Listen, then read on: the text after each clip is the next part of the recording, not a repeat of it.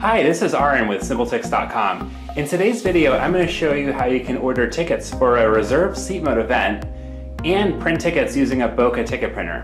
This is the Boca Lemur C model. All right, so here's an event that's reserved seat mode. I'm going to go ahead and select it. And now I'm going to choose which date I'd like to buy tickets for. And now I'll choose what type of ticket I'd like. In this case, I'd like a, two um, regular tickets.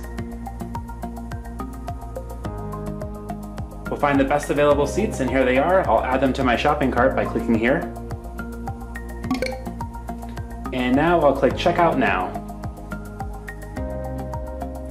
All right, if I'd like to put in a promo code, I can do that.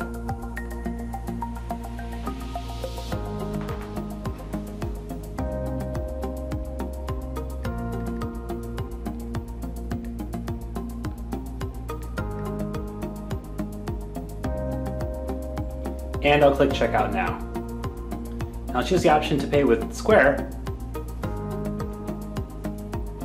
I'll put my card in the card reader. I'll sign the screen.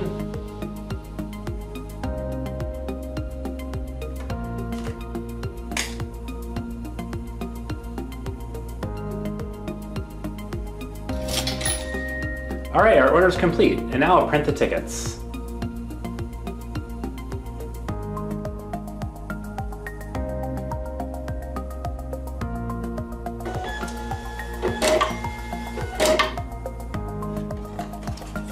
All right, the tickets have been printed and you can see my name right on it. And you can see where the um, section is, what the row is, and the seat number. All right, well thanks for watching our demonstration today on how to use the SimpleTix box office app for reserved seat mode events, applying a, a promo code, and printing tickets with the Boca Lemur C printer.